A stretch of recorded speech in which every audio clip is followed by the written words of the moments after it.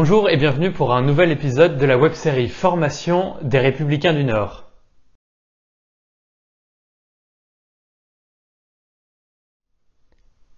Au mois de septembre a commencé à l'Assemblée l'examen du projet de loi dit bioéthique. En plus de l'ouverture de la PMA à toutes les femmes, sujet dont on entend beaucoup parler dans les médias, le texte comporte de nombreux autres sujets. L'établissement de la filiation, le don d'organes et d'éléments du corps humain, la recherche, ou alors l'extension du champ d'application de la bioéthique à d'autres sujets comme l'environnement ou l'intelligence artificielle. Tous ces sujets font qu'il est nécessaire que l'on étudie au maximum le texte pour pouvoir ensuite éclairer nos positions. Il est donc possible de se rendre sur le site de l'Assemblée nationale pour consulter le texte du projet de loi et également suivre en direct et en replay euh, le déroulement des débats qui ont lieu dans l'hémicycle. Le gouvernement a présenté récemment le projet de loi de finances pour 2020 et le projet de loi de financement de la sécurité sociale pour 2020. Ces projets incluent beaucoup de mesures qui ont été prises à la suite des Gilets jaunes, comme la baisse de l'impôt sur le revenu et également l'exonération de cotisations salariales des heures supplémentaires, ce qui est différent d'une défiscalisation totale qui inclurait les cotisations patronales et une exonération de l'impôt sur le revenu. Ces budgets et le budget de l'État présentent un déficit toujours très haut, à 93 milliards d'euros. C'est plus haut que tous les déficits sous François Hollande. La dette publique reste également très haute et les dépenses continuent d'augmenter.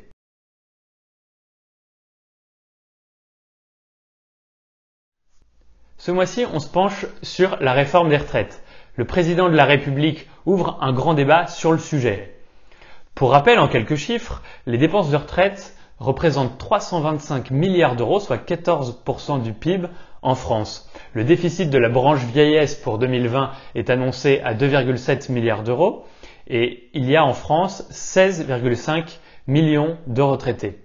Le 18 juillet, après des mois de concertation, Jean-Paul Delvoye, le haut commissaire aux retraites euh, a présenté un rapport avec beaucoup de mesures et de propositions.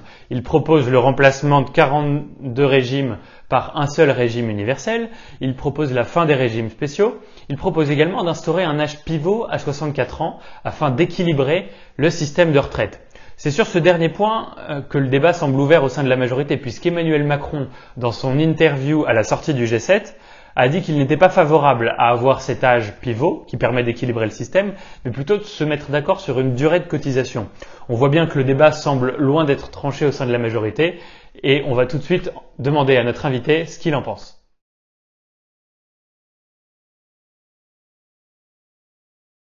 Emmanuel Macron euh, lance un, débat sur les retraites après le grand débat d'il y a quelques mois. Euh, on pouvait penser que ce débat avait déjà eu lieu, puisque ça fait maintenant deux ans que euh, le haut commissaire a commencé à travailler sur le sujet. Donc c'est très très lent, euh, très très long. Pourquoi? Parce qu'il y a des problèmes de fond. je pense que le gouvernement se trompe de réforme des retraites. Vouloir un système universel, c'est bien, c'est des, jolis mots, mais ça n'a pas de, de, sens particulier. C'est au fond assez injuste et très injuste même pour un certain nombre de professions tout le monde se sent perdant dans un système comme celui-là.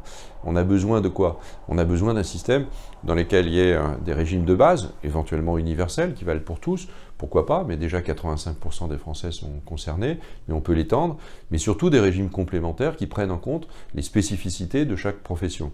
Et pour beaucoup de professions, ces spécificités, elles sont vécues de façon autonome. Euh, les artisans, les commerçants gèrent de façon autonome et très bien leur caisse de retraite. Donc il n'y a pas d'injustice là-dedans pour euh, finir la réforme des retraites que nous avons euh, déjà largement entrepris, pour terminer la convergence, comme on dit, euh, des retraites, il faut s'attaquer en réalité à trois sujets et pas plus. Le premier, c'est les régimes spéciaux. Il y a aujourd'hui des régimes spéciaux qui ne s'expliquent plus, la RATP, la SNCF, qui créent beaucoup, beaucoup d'injustices vis-à-vis des autres Français, qui en plus sont financés par le contribuable français. Il faut terminer l'harmonisation entre les fonctionnaires et les salariés du secteur privé. Nous l'avions largement entamé en augmentant les taux de cotisation des fonctionnaires. Il faut aller plus loin, et notamment sur les périodes de référence euh, de salaire qui sont prises en compte, les 25 ans, les 6 mois, et quelques autres points de cette nature. Et puis il faut assurer la, euh, la vraie injustice, c'est d'avoir un système qui ne se finance pas, ou ne se finance plus.